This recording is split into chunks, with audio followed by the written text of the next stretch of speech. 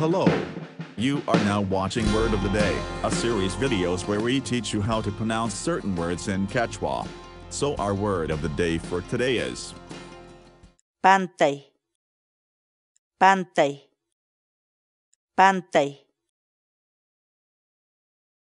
in English, the Quechua word pantay, means to be wrong, to make a mistake.